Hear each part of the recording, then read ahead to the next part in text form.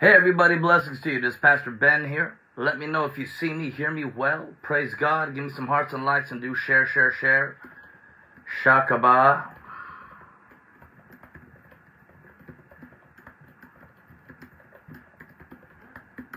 Let me know if you hear me clearly. If you hear me clearly, give me some hearts and likes. Praise God. Give me some hearts and likes. People of God, blessings to you. This is Pastor Ben here. It's good to be back home. Rabanderes Karabro. Of course, there's a, a lot of wonderful things happening going on right now. Amen. So I can't wait to talk with you today. Can't wait to hear from you. Praise God. Hey there, Tim. Blessings to you. Praying for you. Let me know where you're watching from, and in a minute, I'm just going to go straight into the Word. Uh, really, I need to start heading over to church, but I really needed to talk with you. It's been burning on my spirit. I really, uh, I'm so busy right now, so I've really had no other time but to come on right now. So all of you people that are up late or are going to be watching the replay, give me some hearts, likes, and do share, share. Praise God. Let me know where you are watching from.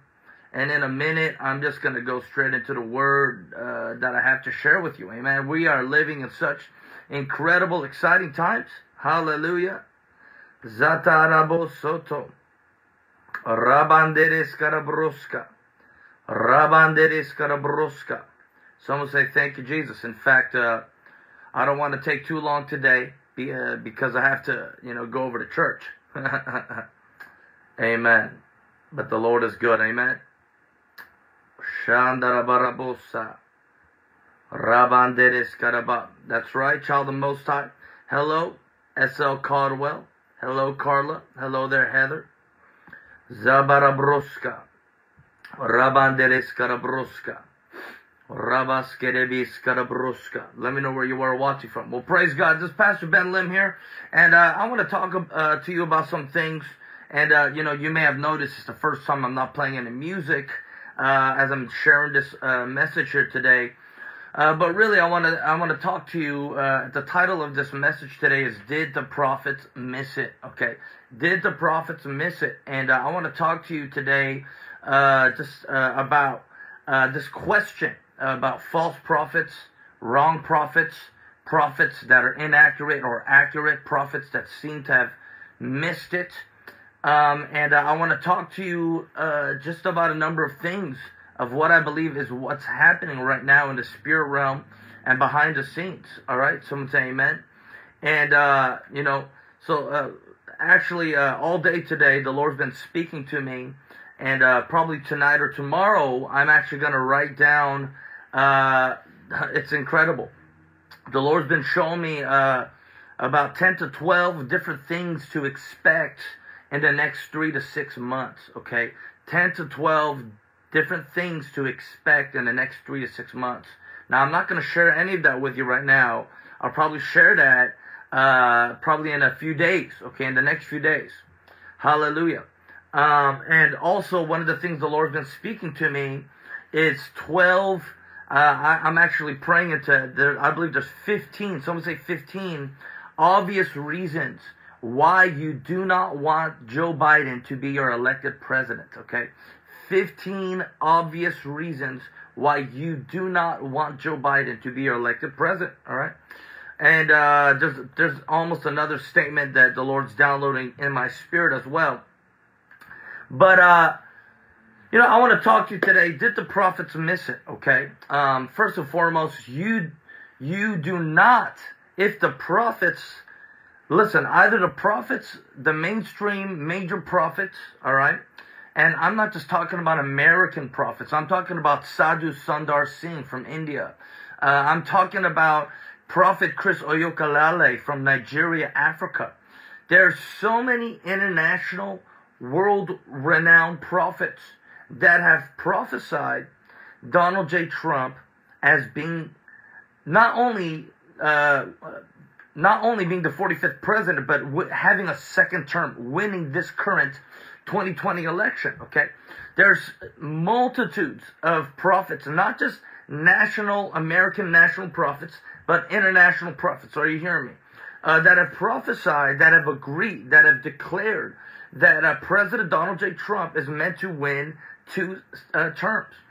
So either either all of these mainstream, all these major prophets, even in Africa and Korea and Asia and, and America, Shakara, that have agreed with this common corporate word of God. Either we are all wrong and we are all off, and we are all deceived, and there's a lying spirit or a spirit of confusion that's come, okay? Either that's what's taken place, or there's something that God wants to release, and there's something that God wants to entrust us with to push back in the spirit realm. Okay, I'm telling you, people of God, um, you do not want the prophets of God to be wrong about this. I mean, it, it's so funny. Uh, you know, I've been watching a number of. Uh, uh, mainstream prophets, you know, a number of friends of ours, you know, on Sid Roth and, and Lance Wallnau and just, you know, a number of major mainstream prophets, men and women of God that I love that I've come to befriend and I highly respect and that actually have a reputation and a respect, not like most prophetic people. but, uh, you know, so in the last few days, uh, of course, I'm watching a lot of the fake news avidly. I'm watching the fake news. I'm studying. I'm praying, watching the fake news.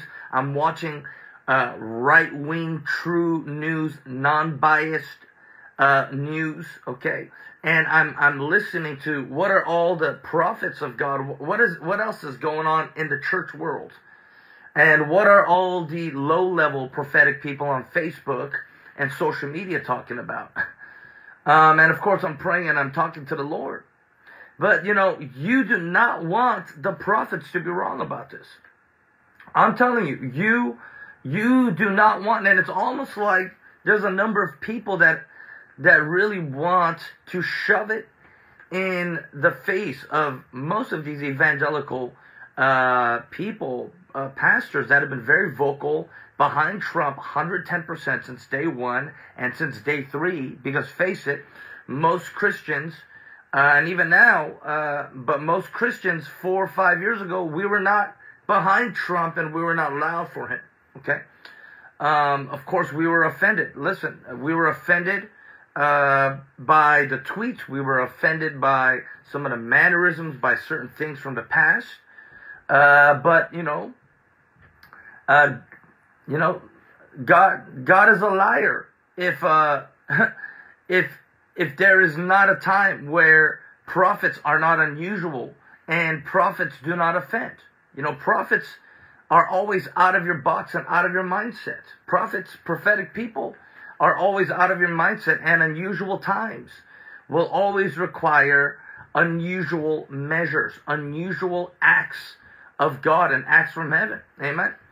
So I'm, I'm talking to you today because you do not want the prophets of God to be wrong. Because if, if that's the case, then the church is in major error. The church is in is in major uh, we are in a real rut and a, a bad place.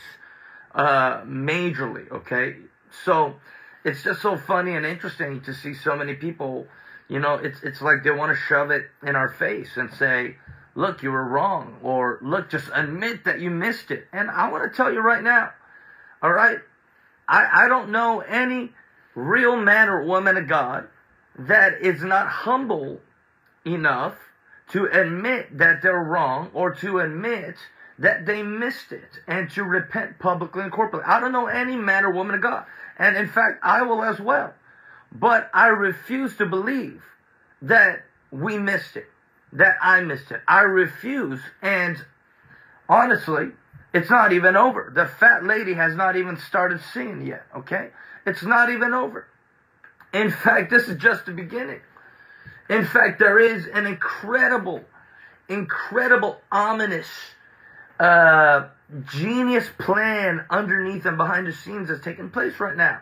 While so many people are being are quick to judge and quick to throw stones and quick to false and condemn and and and judge these prophetic words. I'm, I'm I'm telling you, it's the elections are not even over yet. Okay, people of God, if the elections were over on election day, November third, then obviously Donald J. Trump is the winner. Obviously. Obviously. You, you look at the electoral votes and you look at the swing states. It's so obvious that Donald J. Trump won, but what did they do? They froze the election so that they could stuff the ballots like a burglar on a midnight uh, midnight crisis, stuffing their bag with Christmas presents to bring to their children. And of course, obviously, uh, the left and the Dems, they planned this like they planned the pandemic of COVID for years. Rakata. And at the right time, uh, they froze the election because they knew that they're losing, that Joe Biden was absolutely losing. So what did they do? They froze the election. Chaos, chaos, mayhem. And as we all know, okay, they, they cheated. Fraud. Lots of fraud, lots of fraudulent activity. Farce, fake, evil, corrupt nonsense. I mean, we're seeing it all around, okay? And, uh, but still, the elections are not over. I'm telling you, the elections aren't over. And, uh, Donald J. Trump is gonna win, okay?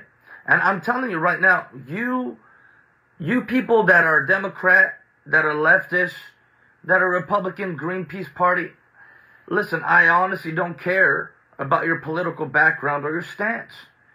But we as Americans, and especially if I'm talking to you Christians, we as people, human beings, we need to desire for a real honest election, real honest, integral uh, uh, procedures and methods to take place. And I'm telling you, uh, God has the last word. He has the last laugh. Rakata. There's a divine setup underneath and behind the scenes for the greatest comeback in history. Amen. And I'm telling you, the U.S. economy, we're going to come back even stronger. Okay. Many people are about to get indicted and about to be imprisoned. I'm telling you. Lots of people are about to be indicted in prison. We're about to see social media, big tech reform. Okay, of course, officially yesterday, Candace Owens came out publicly and and publicly stated that she is filing a lawsuit against uh, Mark Zuckerberg and fact checkers and Facebook.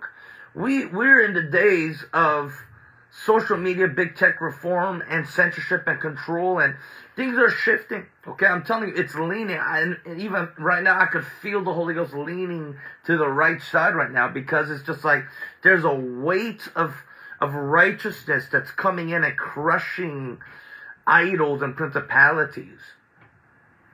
But listen, people of God, if I'm wrong and I missed it, I've I've no problem repenting and coming out publicly and saying, I'm sorry, I missed it. I was wrong. But you, MSNBC, Fox News, ABC, CNN, fake Kool-Aid, drinking, intoxicated, Jezebel, uh, COVID, fear, fear mongering. All right, liberals, you people, you need to listen that the election's not over. And what they're feeding you, once again, is not the truth. And I'm telling you, people of God, uh, Donald J. Trump is going to win. And I, listen, and if I'm wrong, then I'll come out and repent publicly and I'll apologize. And I know so many other men and women of God, prophets, prophetic people will do the same.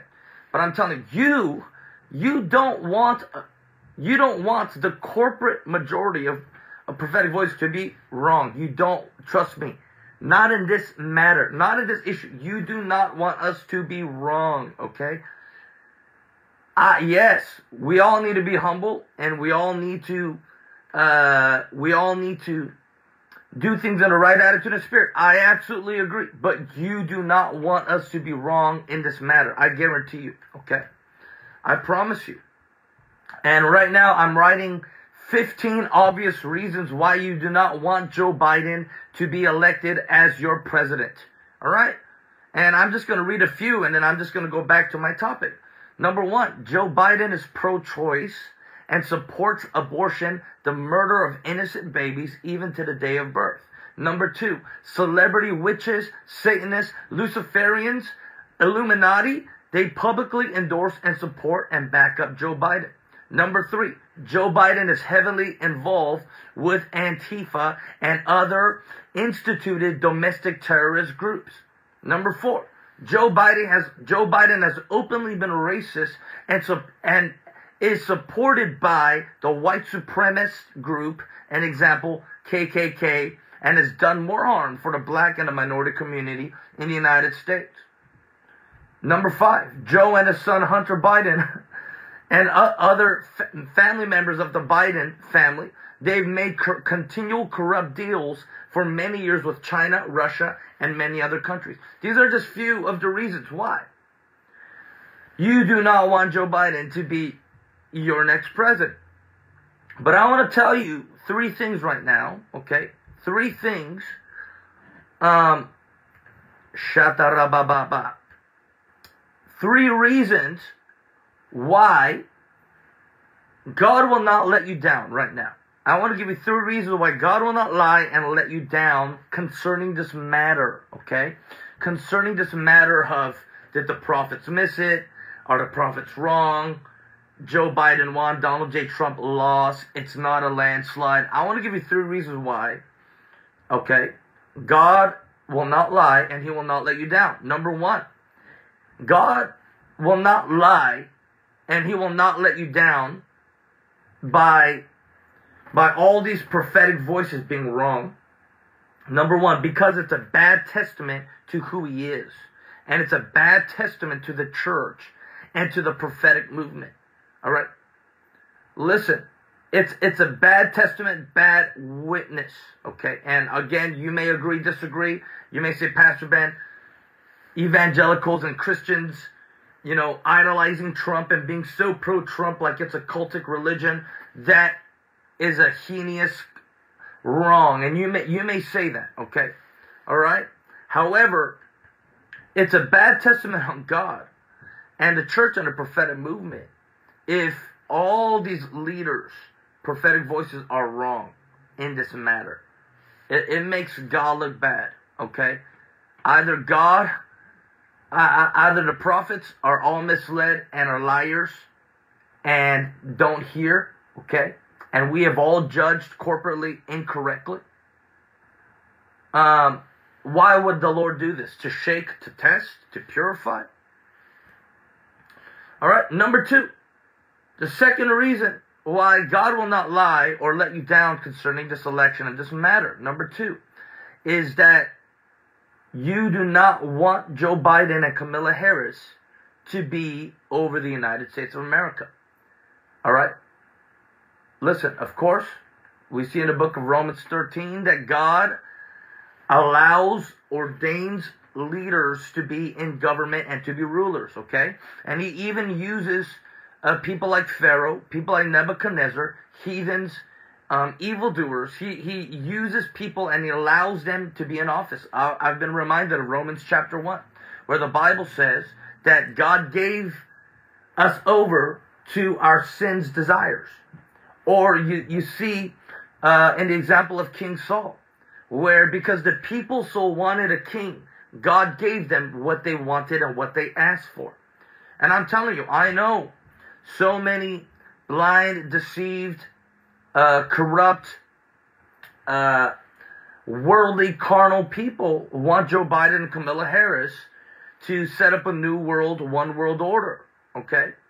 And so God just may give us what the flesh and the world desires, but I believe that God is wanting to extend his hands of mercy. Someone say mercy. I believe that God is wanting to release mercy over America and an open window of revival and awakening, not tyranny, not control, not judgment, and not evil to run in, in America and the nations abound. I still believe that this is not the end times. I believe that this is the beginning of times. All right? And number three, why God will not lie or let us down concerning this matter of the election. Number three, the third reason is I believe that God is not yet done with Donald J. Trump and his family. All right. God is not done with Donald J. Trump and his family. Okay.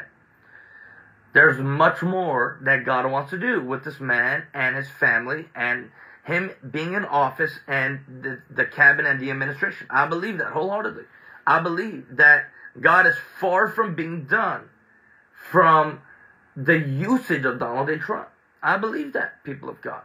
You tell me, what other president in American history has had so many pastors, uh, men and women of clergy surround him and pray? And you tell me, what other president has had so many attacks, satanic rituals and witches and covens openly come against a president? And what, what other president has had so many attacks by the media and by Hollywood elitists. I mean, uh, remember what's that one lady, uh, Rachel? Uh, you know, one somebody comment that one talk show host lady that you know she had a dummy of President Trump where he was stabbed and hung or he was bleeding and you know, I mean, are you serious? That's not even a joke. I'm sorry, Saturday Night Live SNL cannot even be that that evil. You tell me, you tell me, people of God, what other president has experienced such things like this? You tell me. All right, um, and I'm telling you right now that that there is a third day anointing that's coming. Someone say third day. There is a third day anointing that's about to come upon President Donald J. Trump, and I prophesy right now that although many people feel depressed, they feel let down, they feel scattered, they feel be- betrayed, they feel like, where, where are you, Jesus? Where is your answer? Where is your salvation? Where is your hand? Did we hear you wrong? We were following this movement and we came this far up to this moment and then we were let down. Is this the end? Could this be? But I believe that there's a third day anointing that's about to come. Many of us, we feel down, depressed, and even dead. But praise God, we must rejoice. We must give thanks. Because there's a greater revenue of recompense that God's building up right now. Amen. God right now is releasing a third day anointing. Remember, they thought Jesus was dead. They thought Jesus was finished. But on the third day, the tomb was rolled away and he rose again from the grave. Praise God. Death cannot hold them down. Curses cannot hold them down. Russia collusion, false impeachment processes. All right, the corrupt FBI. All right, uh, the farce, uh, uh, uh fraudulent uh, uh, voting. All right, the mail-in ballots, coronavirus. All right, Antifa. None of these things can bring them down. All right, I'm telling you, there's a third day anointing that's about to come. Bam! Someone say amen. And let me tell you even more so about the third day anointing. All right, Esther chapter 4, 16. Esther 4, 16. The Bible says, Go gather together all the Jews who are in Susa and fast for me. Do not eat or drink for three days. Someone say three days. Ding, ding, ding. Does that sound familiar? A third day anointing. Do not eat or drink for three days, night or day. I and my attendants will fast as you do when this is done, I will go to the king, even though it is against the law. If I perish, I perish. And what happened there? Their enemy Haman was hung on the gallows. This issue was presented and brought to the king in the court. Come on, somebody, the Supreme Court the highest court of the land. It was brought before the king in the court, this issue, and it was overturned. Someone say overturned. It was brought before the king in the court and it was overturned. But after three days of fasting, after three days of darkness, after three days of waiting, after three days of feeling like you're in the pit, you're in the loom, you're left behind, you feel abandoned, you feel betrayed, you feel tested in your faith. After three days, come on somebody, revelation came this issue was brought to the court. Their enemy Haman that was plotting all these evil doings and nonsense against Mordecai, against Esther and the Jewish people of God. All right, it it uh, boomerang. Someone say boomerang, and a boomerang the, the head of Haman, and of course he was executed. Come on, somebody. He was executed and he was put down forever. And then everything began to change. Reform happened. And what happened? Mordecai was honored. Mordecai was honored. Come on, somebody. And I believe that's what's happening right now. I just uh, read that in Pennsylvania. My God, someone said amen. And you're not seeing this in the major news. You're not seeing this anywhere on Google, anywhere on the high, uh, on, on the top, uh, uh, what is it, SCI, SEOs, the, the top searches on the internet. You're not seeing this anywhere. But Pennsylvania right now has gone to the Supreme Court. You know, I know that President Trump released what I, I believe, uh, what, uh, what was it?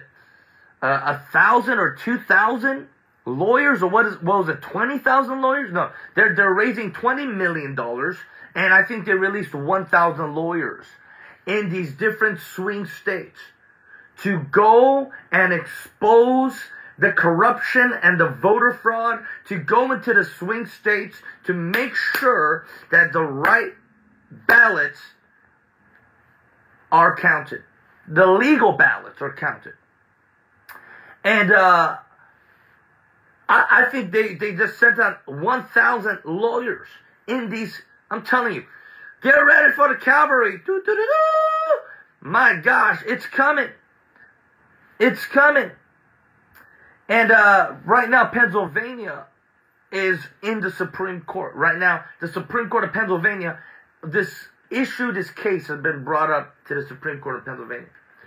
And lo and behold, who knows? It may go up all the way to the highest court of the land, the Supreme Court of the United States. Someone say, Amen. I'm telling you right now, people of God, Trump's going to win. Trump's going to win. All right? Amen. I, I believe there's going to be a third day anointing that's going to come. The Esthers and the Mordecais will be honored. Every plot and plan will be exposed. And the people who partnered with the corruption are going to be terminated and exterminated. And the Jewish people, the chosen people of God, were blessed, celebrated, and lived in prosperity and peace. They were honored as well. Listen, I believe right now God still has the upper hand. God still has the last word. There is a trump card that God still has. Remember, in this game of Texas Hold'em, in this game of poker, in this game, God still has a trump card up his sleeve. And I believe right now, people of God, we have seen nothing yet. I believe we're about to take the House. We're, I mean, listen, look at the Senate wins, pro-life, Republican, and again, I'm. It's not just about. It's not about a party. It's about the policies and the people that embody that uh, that embody the the values uh, of the Bible, of the Word of God, of our Christian faith. But you don't want the prophets to be wrong. You don't want Joe Biden to be president. You don't. All right. So what should you do instead of quickly presuming that the prophets are wrong and quickly coming on Facebook and social media and condemning certain prophets and prophetic voices that they're wrong because Donald J. Trump lost. No, he didn't. The election's not over yet. The fat lady in your in your bedroom has not yet sung. She has not yet even started singing yet. It's not yet over. And I'm telling you, God still has a trump card. All right. God is using this for his good. All right. Shataraba. I prophesy in the name of Jesus that the Trump family is about to be honored. All right. Just like Mordecai and just like Esther. All right. It's gonna, they're gonna be honored. And the Jewish people, the people of God are going to rejoice. The Bible says that when the righteous rule, the people rejoice. But when the wicked rule, the people run and hide. Telling you, you don't want the, the prophetic people, you don't want the prophets to be wrong in this. You do not. You do not. So what do you and I need to do? We need to pray. Okay? We need to pray. Don't be anxious. All right? Don't be stressed out. We need to pray. We need to bless the name of God. We need to thank the Lord because there's great reform and change that's happening and taking place right now. I'm telling you, people of God, Jesus is on the throne, and it's so funny. Uh, So many pastors and people, you know, the last few days, they all started with this. We all know that Jesus is on the throne. Duh, come on.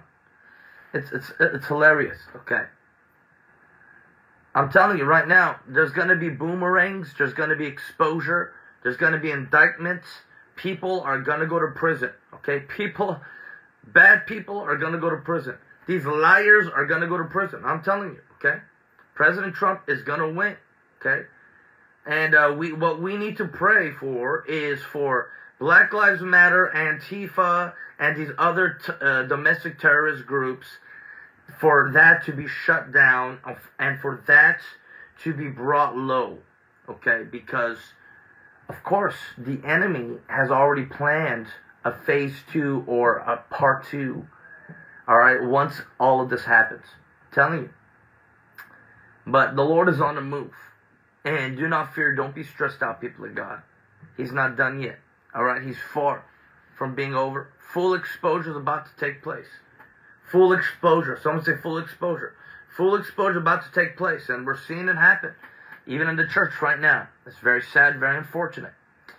Uh, Pastor Carl Lentz of Hillsong, New York. I've been there. I love that place.